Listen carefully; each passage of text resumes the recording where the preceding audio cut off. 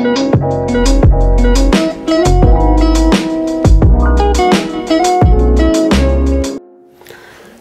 Friends good morning అందరికీ. Welcome to money mastery one thirty nine నాకు జలుబు చేసి కొంచెం వాయిస్ చేంజ్ ఉంది. దాన్ని మీరు అడ్జస్ట్ చేసుకోండి వాయిస్ చేంజ్ అయింది.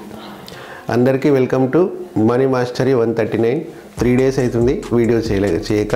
బిజీగా ఉన్నాను నిన్న మొన్న ట్రైనింగ్ క్లాసులు ఉన్నాయి రియల్ ఎస్టేట్ ట్రైనింగ్ క్లాసెస్ దానికోసం గ్యాప్ వచ్చింది. ఫ్రెండ్స్ నేను ఈ D series D for Delhi D series చేస్తానని మీకు అనౌన్స్ చేశాను. ఇవాళ థర్డ్ డి సిరీస్ థర్డ్ ఏంటంటే డిజైన్ డిజైన్ యువర్ లైఫ్ ఇది మీకు అర్థం మొత్తం అర్థం కాకపోయినా వీలైనంత వరకు అయినా సరే దీన్ని అర్థం చేసుకొని మీరు ఇంప్లిమెంట్ చేస్తే మీ లైఫ్ చాలా చేంజ్ అవుతుంది. మనకి అతిపెద్ద లోపం ఇదే సొసైటీలో మనకి ఏం కావాలో మనకు తెలియదు. మన లైఫ్ని మనమే డిజైన్ చేసుకోవాలి. మన లైఫ్ని మనం డిజైన్ చేసుకోకపోతే ఇంకెవడో డిజైన్ చేస్తాడు వాని కింద మనం పని చేస్తాం. మీకు చిన్న ఎగ్జాంపుల్ తీసుకొని మొత్తం ఇండెప్త్ కాకుండా టాపిక్లోకి వెళ్ళిపోతాను. నేను ఫార్మా కంపెనీలో జాబ్ చేసేటప్పుడు నాలుగు వేలు శాలరీ వచ్చేది. నాలుగు వేలు నాలుగు వందలు ఎంతనో శాలరీ వచ్చేది. ఆ నాలుగు వేలు నాలుగు వందల శాలరీలో తొమ్మిది వందలు రెంట్ పెట్టేది. మిర్యాలగూడలో ప్రతి నెల రాసుకునేది బడ్జెట్ రెంట్ ఇంత కరెంట్ బిల్ ఇంత కిరాణా సామాన్ ఇంత ఇది ఇంత మెయింటెనెన్స్ ఇంత ఆ ఖర్చులు ఇంత బస్ ఛార్జీలు ఇంత అవి ఇంత ఇవి ఇంత పెట్రోల్ ఇంత మొత్తం నెల బడ్జెట్ రాసుకునేది. తిప్పి కొట్టి కట్ చేసి లాస్ట్కి నెలలో ఏం మిగలకపోయేది. ఏమైనా ఇంట్లో ఫర్నిచర్ కొన్నా మిగలకపోయేది. ఫార్మా కంపెనీలో జాబ్ చేసిన రోజులు అట్లా గడిచిపోయింది. తర్వాత ఇండస్ట్రీ పెట్టిన ఇండస్ట్రీ పెట్టిన తర్వాత దాంట్లో లాస్ అయింది మళ్ళీ రోడ్డు మీద పడిన. తర్వాత నాగర్ కర్నూల్లో సిచ్యువేషన్లో ప్రైవేట్ స్కూల్లో టీచర్గా చేద్దామని అనుకున్నా. అప్పుడు మళ్ళీ లెక్కలు వేసుకున్నా. ఆ రెండు వేల ఐదు వందలు అడిగితే ఆయన పదిహేను వందలు ఇస్తున్నాడు. రెండు వేల వరకు రెండు వేల ఐదు వందల వరకు నెగోషియేట్ చేస్తున్నాడు. నాగర్ కర్నూలు అప్పుడు రెండు వందల యాభై రూపాయలు సింగిల్ రూమ్లో ఉండేది. రెండు వందల యాభై రూపాయలు రెంటు. ఆ రెండు వేలు పదిహేను వందలని రెండు వందల యాభై రూపాయల రెంటు నాలుగు వందల కిరాణా సామాను అట్లా లెక్కలు వేసుకుని అంటే లైఫ్ని ఆ పదిహేను వందలు రెండు వేల వరకు ఎట్లా అడ్జస్ట్ అవ్వాలి? మొత్తం లెక్కలు వేసుకొని పర్లేదు ఇప్పుడైతే గడుస్తుంది కదా అని అనుకున్నాను అయితే లైఫ్లో మనం ఏ స్టేజ్లో ఉన్నా మనకు ఆ ఆ సర్కమ్స్టాన్సెస్ బేస్ చేసుకొని మనకు వచ్చే ఇన్కమ్ బేస్ చేసుకొని దాన్ని మనం అట్లా డిజైన్ చేసుకుంటాం. మా ఫ్రెండ్ ఉన్నాడు ఒక అతను.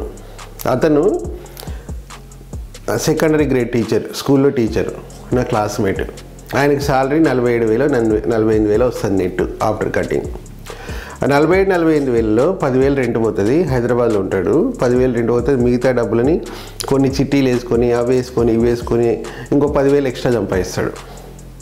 ఇప్పటికీ ఉద్యోగం వచ్చి ఇరవై సంవత్సరాలు దాటింది. ఇరవై రెండు సంవత్సరాలు అవుతుంది. ఇరవై రెండు సంవత్సరాల నుంచి ఇవే లెక్కలు ఇవే బడ్జెట్లు ఇవే ప్లాన్లు సంపాదించిందంటూ ఏమీ లేవు హైదరాబాద్లో సొంత ఇల్లు లేదు. ఊళ్ళో సొంత ఇల్లు లేదు సంపాదించింది ఏమి లేదు.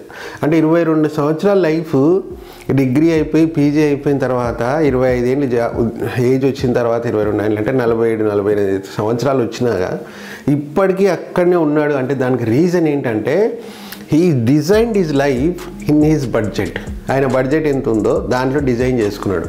నాకు ఇంత శాలరీ వస్తుంది నేను ఇంతనే ఖర్చు పెట్టాలి నేను ఇంతనే సేవ్ చేయాలి నేను ఇట్లనే అంటే నీకు ప్రజెంట్ ఉన్న సర్కమ్స్టాన్సెస్ బేస్ చేసుకొని మన ఫ్యూచర్ని డిజైన్ చేసుకుంటాం మనకు తెలియకుండానే. మీకు మనీ మాస్టర్ వన్ థర్టీ నైన్లో నేను చెప్పేది ఏంటంటే ఈరోజు సర్కమ్స్టాన్సెస్ బేస్ చేసుకొని మన గతంలో జరిగిన ఇన్కమ్ ఎంత వచ్చిందో దాన్ని బేస్ చేసుకొని మన ఫ్యూచర్ని అంచనా వేయకూడదు. Design your future.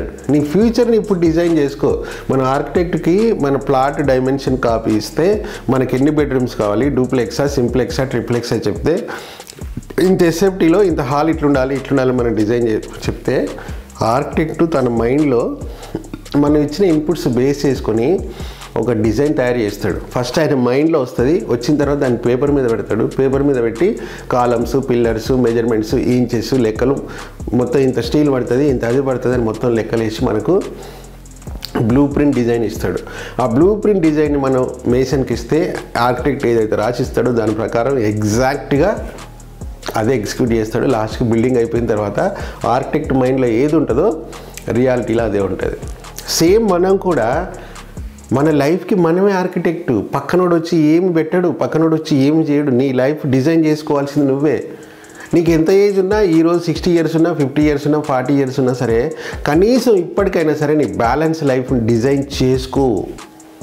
ఇప్పటికైనా డిజైన్ చేసుకో. ప్రతి ఒక్కరి కోరికలు ఉంటాయి ప్రతి ఒక్కరికి డిజైర్స్ ఉంటాయి. నువ్వు ఎప్పుడైతే కోరికలు డిజైర్స్ అచీవ్ కావో నీలో తెలియకుండా ఒక స్ట్రెస్ పెరిగిపోతుంది.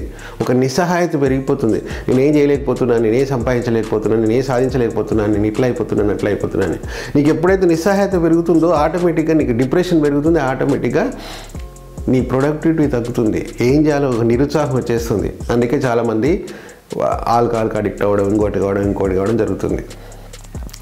నీ లైఫ్ నువ్వు డిజైన్ చేసుకోవాలి అంటే నీ ఫ్యూచర్ నువ్వు డిజైన్ చేసుకోవాలంటే ఫస్ట్ థింగ్ నీకేం కావాలో నీకు తెలియాలి. ఒక్కటే లైఫ్ బాస్ మనకు ఉండేది ఆ ఒక్క లైఫ్ని హ్యాపీగా ప్రశాంతంగా ఫుల్ఫిల్ అంటే ఫుల్ ప్లేజ్డ్గా సంపాదించి ఫుల్ ప్లేజ్డ్గా జనాలకి హెల్ప్ చేసి ఫుల్ ప్లేజ్డ్గా జనాలని ఇంపాక్ట్ చేసి ఫుల్ ప్లేజ్డ్గా లైఫ్ లీడ్ చేసి పోదాం బాస్. ఎందుకు చేతగానిలాగా చేతగానంలోకి మనం చనిపోవాలి? అదేం పెద్ద కష్టమైన పని అందరికి ఒకటే. ఈ రోజైనా సరే మీ అందరికీ నేను రిక్వెస్ట్ చేస్తుంది ఏంటంటే you design your future now today. మీరు మీరందరు దయచేసి ఈరోజు ఏదో ఒక టైంలో సాయంత్రమో నైట్ ఒంటరి కూర్చొని ఒక అర్ధ గంట సేపు నేను చెప్పినట్టు మీరు ప్రాక్టీస్ చేయండి. మీ లైఫ్ మీరు డిజైన్ చేసుకుంటారు. మీ లైఫ్ మీరు డిజైన్ చేసుకుంటే చాలు మీరు అది డిజైన్ చేసుకున్న లైఫ్ను మీరు టూ హండ్రెడ్ పర్సెంట్ అచీవ్ కాగలుగుతారు. దానికి ఏం చేయండి ఒక వైట్ పేపర్ తీసుకోండి. తీసుకొని మీరు నెక్స్ట్ టెన్ ఇయర్స్ లోపు అంటే మీ లైఫ్ మీరు డిజైన్ చేసుకోవాలంటే మీ గోల్స్ ఏంటో మీకు తెలియాలి. జీవితంలో సక్సెస్ అయినోడికి ఫెయిల్ అయినోడికి ఒకటే తేడా ఏంటంటే సక్సెస్ అయినోడికి గోల్ ఉంటుంది సక్సెస్ కానోడికి ఫెయిల్ అయినోడికి ఇంకోటి గోల్ కింద పనిచేస్తాడు. అది అబ్సల్యూట్లీ రియల్. ఒక వైట్ పేపర్ తీసుకొని ఏం చేయండి మీకు నెక్స్ట్ వన్ ఇయర్లో నెక్స్ట్ త్రీ ఇయర్స్లో నెక్స్ట్ ఫైవ్ ఇయర్స్లో నెక్స్ట్ టెన్ ఇయర్స్లో మీకు ఏం కావాలో మీ డిజైర్స్ ఏంటో మీ కోరికలు ఏంటో మీరు రాసుకోండి. ఓన్లీ వర్డ్స్ రాయండి not sentences not explanations item ఒక ఐటమ్ లాగా రాసుకోండి. ఐటమ్ నెంబర్ వన్ ఒక విల్లా అది విల్లా ఫోర్ బెడ్రూమా త్రీ బెడ్రూమా ఈస్ట్ ఫేసింగా వెస్ట్ ఫేసింగా లేకపోతే ఇటాలియన్ మార్బుల్స్ సెంట్రలైజ్ చేసే సంబంధం లేదు. ఇప్పుడు మీకు ఇనీషియల్గా నేను చెప్పింది ప్రాక్టీస్ చేయండి. ఫస్ట్ ఒక విల్లా తర్వాత ఒక కారు. కార్ అంటే ఆడియా బెంజియా పోర్షా ఓల్వోనా సంబంధం లేదు. Just car. ఒక ట్రస్టు లేకపోతే ఒక పది ఎకరాల ల్యాండ్ లేకపోతే ఒక కొత్త జాబ్ లేకపోతే వరల్డ్ టూర్ లేకపోతే ఫ్యామిలీకి ఇంత గోల్డ్ లేకపోతే ఫ్యామిలీ పర్పస్ ఇంకేదైనా ఉంటాయి లేకపోతే పిల్లల ఎడ్యుకేషన్ ఇన్ యూఎస్ఏ. ఏదైనా సరే ఒక్క వర్డ్ లేకపోతే రెండు వర్డ్స్లో మీరు ఒక ఫిఫ్టీ గోల్స్ రాయండి. నెక్స్ట్ వన్ ఇయర్లో త్రీ ఇయర్లో ఫైవ్ ఇయర్లో టెన్ ఇయర్స్లో మీరు అచీవ్ కావాలనుకున్న మీ కోరికలు మీ డిజైర్స్ ఏమున్నాయో వాటిని ఒక వైట్ పేపర్లో ర్యాండమ్గా రాసేయండి అంతే వర్డ్స్. మొత్తం ఫిఫ్టీ రాసిన తర్వాత దాంట్లో మీరు సర్పంచ్ అవ్వచ్చు ఎమ్మెల్యే అవ్వచ్చు మినిస్టర్ అనుకోవచ్చు లేకపోతే మీకు ఏదైనా సరే దాంట్లో మీకు సోషల్ స్టేటస్ ఉండొచ్చు మీకు ఒక వస్తువు ఉండొచ్చు ఒక ఐఫోన్ ఉండొచ్చు ఒక ల్యాప్టాప్ ఉండొచ్చు ఒక విల్లా ఉండొచ్చు ఒక బెంజ్ కార్ ఉండొచ్చు ఆడి కార్ ఉండొచ్చు ఏదైనా ఉండొచ్చు. ఒక ఫిఫ్టీ ఐటమ్స్ ర్యాండమ్గా రాసేయండి. రాసిన తర్వాత ఒక్కొక్క ఐటమ్ విల్లా త్రీ ఇయర్స్ తర్వాత విల్లా కావాలి. బ్యాంక్ బ్యాలెన్స్ కోటి రూపాయలు. వన్ ఇయర్లో కోటి రూపాయలు కావాలి. అంటే దాని దగ్గర వన్ ఇయర్ అని రాయండి. దీని దగ్గర త్రీ ఇయర్స్ అని రాయండి. ఓల్డ్ ఫైవ్ ఇయర్స్ అని రాయండి. ఫ్యామిలీ ట్రిప్ టెన్ ఇయర్స్ అని రాయండి. అంటే మీకు మీరు రాసుకున్న గోల్స్ ఎన్ని సంవత్సరాల్లో అచీవ్ చేయాలనుకుంటున్నారో వాటికి నెంబర్స్ వేసేయండి. Three year one year one year three year five year ten years అప్పుడు ఏమైంది మీకు? మీరు అనుకునే గోల్స్ వన్ ఇయర్లో ఎన్ని త్రీ ఇయర్స్లో ఎన్ని ఫైవ్ ఇయర్స్లో ఎన్ని టెన్ ఇయర్స్లో ఎన్ని మీకు ఒక క్లారిటీ వస్తుంది. గోల్ స్పెసిఫిక్గా మనం ఎస్ఎంఏఆర్టీ చెప్పుకుంటాం కానీ దాంట్లో క్లారిటీ లేదు. బట్ ఇప్పుడు జస్ట్ బ్లర్గా మీ గోల్స్ లిస్ట్ వచ్చింది. వచ్చిన తర్వాత ఏం చేయండి ఫస్ట్ ఇయర్లో సపోజ్ మీకు టెన్ వచ్చినాయి. దాంట్లో ఇంపార్టెంట్ అనుకునే ఫోర్ షార్ట్ లిస్ట్ చేయండి త్రీ థర్డ్ ఇయర్లో టెన్ వచ్చినాయి. దాంట్లో ఇంపార్టెంట్ ఒక త్రీ ఒక ఫోర్ షార్ట్ లిస్ట్ చేయండి. ఫిఫ్త్ ఇయర్లో టెన్ వచ్చినాయి. దానిలో ఇంపార్టెంట్ ఒక ఫోర్ షార్ట్ లిస్ట్ చేయండి. టెన్త్ ఇయర్లో ఒక ట్వంటీ వచ్చినాయి. దానిలో ఇంపార్టెంట్ ఫోర్ షార్ట్ లిస్ట్ చేయండి. మీకు ఇప్పుడు ఎన్ని అయినాయి మొత్తం? సిక్స్టీన్ గోల్స్ అయినాయి. ఫిఫ్టీలో మీరు సిక్స్టీన్ షార్ట్ లిస్ట్ చేశారు.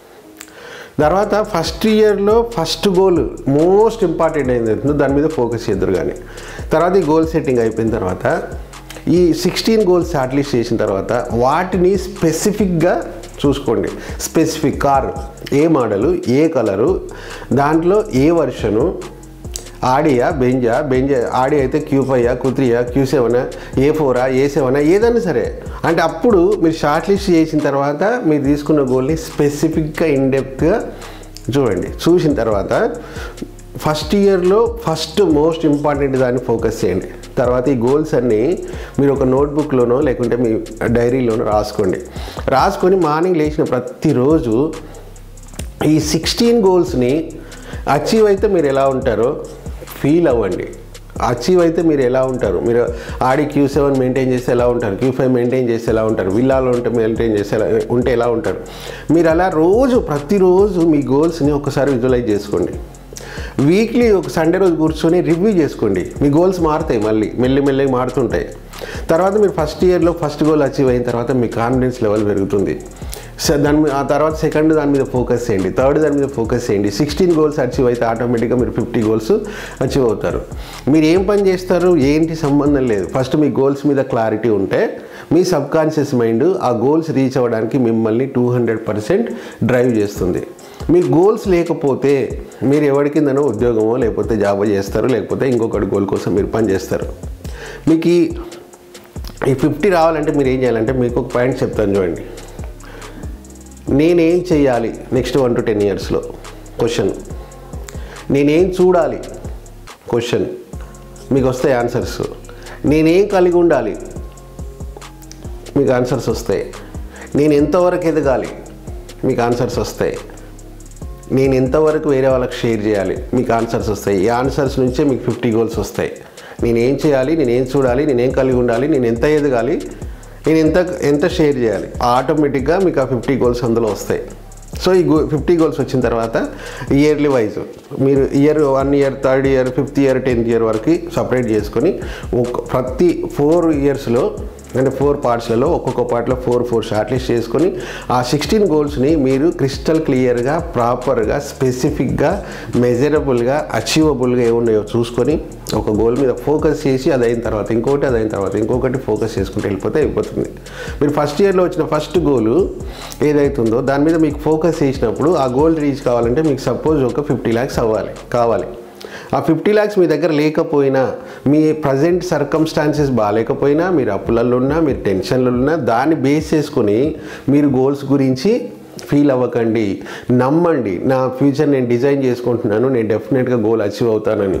నమ్మిన తర్వాత మీరు ఫస్ట్ ఇయర్లో ఫస్ట్ గోల్ ఏదైతే షార్ట్ లిస్ట్ చేసి మొదలు పెట్టారో అది అచీవ్ కావడానికి మీకున్న పరిస్థితులు ఏంటి? మీకున్న ఆపర్చునిటీస్ ఏంటి? మీకున్న నాలెడ్జ్ ఏంటి? స్కిల్ ఏంటి? మీ సబ్ కాన్షియస్ మైండ్ ఎవాల్యుయేట్ చేసి దానికి మీకు మార్గం చూపిస్తుంది. మీ సబ్ కాన్షియస్ మైండ్ ఆర్ మీ ఇంట్యూషన్ ఏం చెప్తుందో దాని మీద ఫోకస్ చేసి దాన్ని విని అది చెప్పిన రూట్లో మీరు ఫాలో అయితే మీరు టూ హండ్రెడ్ పర్సెంట్ ఆ గోల్స్ అచీవ్ అవుతారు.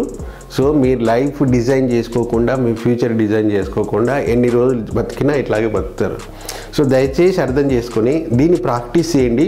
మీకు ఒక్క రోజులో కాకపోతూ కాకపోవచ్చు ఒక టెన్ డేస్ ప్రాక్టీస్ చేయండి. డెఫినెట్గా మీ గోల్స్ ఏంటో మీకు తెలుస్తాయి. తెలిసిన తర్వాత వాటి మీద ఫోకస్ చేయండి. మీ లైఫ్ మారుతుంది. డెఫినెట్గా పది సంవత్సరాల్లో మీరు ఏ లైఫ్ స్టైల్ అనుకుంటున్నారో ఆ లైఫ్ స్టైల్ డెఫినెట్గా రీచ్ కాగలరు. మీ మీద మీరు వర్క్ చేయండి. మీ మీద మీరు ఫోకస్ చేయండి. ప్రతి ఒక్కరికి పాసిబుల్ ఉంటుంది. All the best thank you